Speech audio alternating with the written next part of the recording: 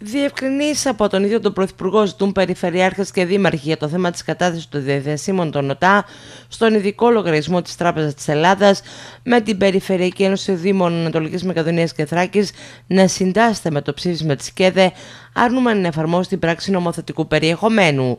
Συνεδρίασε εκτάκτο το Διοικητικό Συμβούλιο της Περιφερειακής Ένωσης ε, Δήμων Ανατολικής Μακεδονίας ε, Θράκης και αποφάσισε σχεδόν ομόφωνα, εκτός από ένα μέλος που ψήφισε λευκό, να υιοθετήσει το ψήφισμα απόφασης του Διοικητικού Συμβούλιου της Κεντρικής Ένωσης Δήμων Ελλάδων σχετικά με την ε, υποχρεωτική μεταφορά των ε, ταμιακών διαθεσίμων των Δήμων στην ε, Τράπεζα της Ελλάδας. Συγκεκριμένα ζητάμε σαν ΠΕΡ την απόσυρση της πράξης νομοθετικού περιεχομένου και καλούνται οι Δήμοι να μην την εφαρμόσουν μέχρι και την ε, σύγκληση του τακτικού συνεδρίου της ε, ΚΕΔΕΡ η οποία θα γίνει στις 7 Μαΐου όπου και θα ληφθεί οριστική απόφαση γιατί τίθεται σε κίνδυνο η ομαλή λειτουργία όλων των Δήμων και των υπηρεσιών τους. Αποφασίστηκε επίσης μέχρι την Παρασκευή να συνεδριάσουν τα Δημοτικά Συμβούλια όλων των Δήμων της περιφέρειάς μας με σκοπό την έκδοση ψηφισμάτων που θα καταγγέλουν την πράξη νομοθετικού περιεχομένου. Τόσο ως πολιτική πράξη όσο και ως το περιεχόμενό της. Τα ταμιακά διαθέσιμα των Δήμων είναι η περιουσία όλων των ε, δημοτών μας από τα οποία πληρώνονται οι εργαζόμενοι του Δήμου και οι προμηθευτές, τα έργα τα οποία γίνονται στους ε, οικισμούς μας προς όφελον των δημοτών, πληρώνεται η σύντηση των ε, παιδιών στους παιδικούς σταθμούς, τα πετρέλαια των οχημάτων και μηχανημάτων έργων με τα οποία εξυπηρετούμε καθημερινά τους πολίτες για την αποκομιδή των απορριμμάτων, τη συντήρηση των αγροτικών δρόμων, την ε, καθαριότητα των ε, πλατιών και κοινόχρηστων χώρων και δεν είναι περίσσια χρήματα τα οποία τα έχουμε στις ε, τράπεζες σαν προθεσμιακή κατάθεση για να πάρουμε τόκους.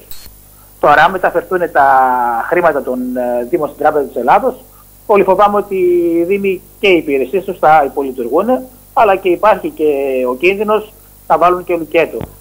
Ε, όλοι οι δήμαρχοι θέλουμε να βοηθήσουμε την κυβέρνηση και τη χώρα μας για να βγει από την οικονομική κρίση για το καλό όλων, αλλά δεν έχουμε πιστεί ε, για ποιο σκοπό θα γίνει αυτό πού θα πάνε τα χρήματα, αν δηλαδή προορίζονται για πληρωμή μισθών και συντάξεων ή πρόκειται για πληρωμή δανείων προς το Διεθνές Νομισματικό Ταμείο. Γιατί αν πρόκειται για πληρωμή δάσεων δανείων, τα 2 δις ευρώ που έχουν όλοι οι Δήμοι συνολικά ω ταμιακά διαθέσιμα δεν σώζουν την κατάσταση στην οποία έχει περιέλθει η χώρα. Από την πλευρά του, Περιφερειάρχη Ανατολικής Μακεδονίας και Θράκης Γιώργος Παυλίδης σημειώνει πως δεν πρόκειται για χρήματα Δήμων και Περιφερειών, αλλά όλων των πολιτών που έχουν να κάνουν με την ίδια μας τη ζωή και το μέλλον μας.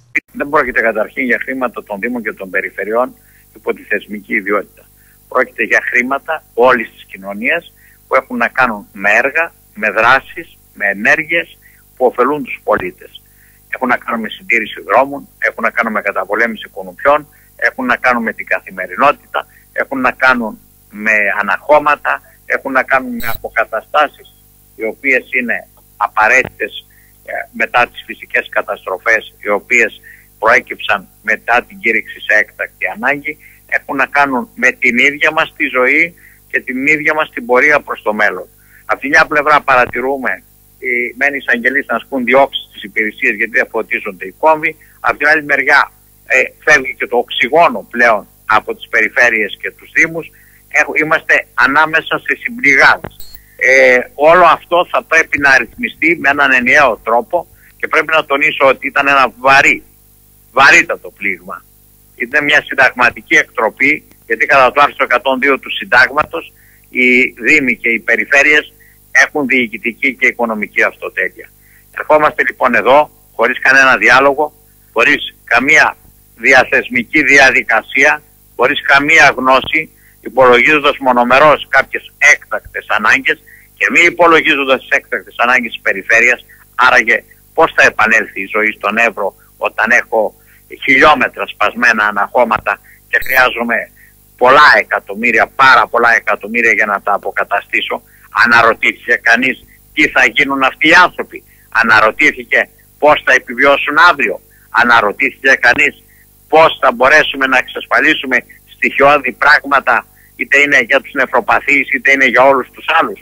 Μας λένε ότι θα υπάρξει ένα σύστημα πληρωμών. Θα το πιστέψουμε. Αλλά όταν αυτά θα έχουν μετατραπεί σε ρέπος, πώς είμαι βέβαιος ότι θα υπάρχει η ανάλογη ρευστότητα στη συνέχεια για να καλυφθούν; Είναι ερωτήματα τα οποία μας απασχολούν.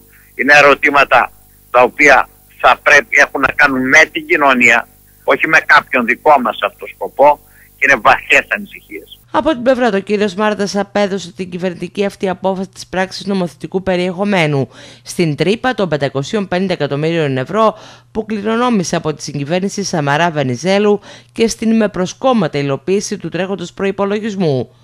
Ο αναπληρωτής Υπουργός Οικονομικών απέκλεισε το ενδεχόμενο να μεταφερθούν στην Τράπεζα της Ελλάδας τα κονδύλια που προέρχονται από το ΕΣΠΑ και υποσχέθηκε επιστροφή των αποθεματικών του ΣΟΤΑ.